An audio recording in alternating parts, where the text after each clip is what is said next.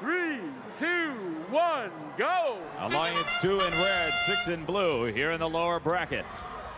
Teams fighting to face off against Alliance 5 in match 13. Autonomous going well. Here's one more cube, and the midfield is clean. Blue Alliance scored all seven game pieces. Red only lacked one. And that'll put the Blue Alliance into the lead as drivers take the control. Peninsula is down for the count. Their partners 118 and Airstrike continuing to score. Blue Alliance trying to maintain their lead, scored an autonomous. Mechanical advantage completes link number two for the Blue Alliance.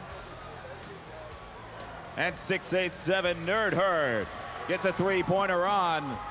That'll help Alliance 6 maintain their advantage. As Mechanical Advantage works on the mid row now that the top row is full. 60-36 continues to be incapacitated. 118 completing a link to close this gap of 25 points. 80 seconds for play. Blue Alliance focusing solely on offense as they try to outscore the other two robots. Airstrike 78 gets a three-pointer. Here comes 118 to complete the link. Less than a minute for play. 128 to 103. Blue up. Here comes 118 to cap off the top row. That'll be 10 points. Nerd Herd coming back of the cone, now working down low. Six links completed, seven links completed for blue. 63-28 gets eight links completed. Filling up the grid, 30 seconds to play. 156 to 111. Blue Alliance looking to push it over 200.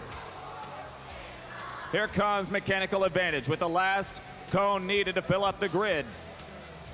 They supercharge on the right, but there's still a gap in the middle.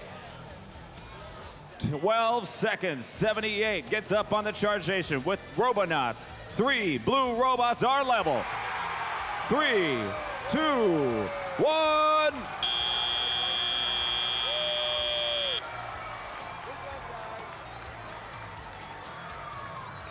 With a score 186 to Red Alliance is 140. Alliance 6 will go on to face Alliance 5 in match 13. Put your hands together for an incredible Alliance 2, captained by 118.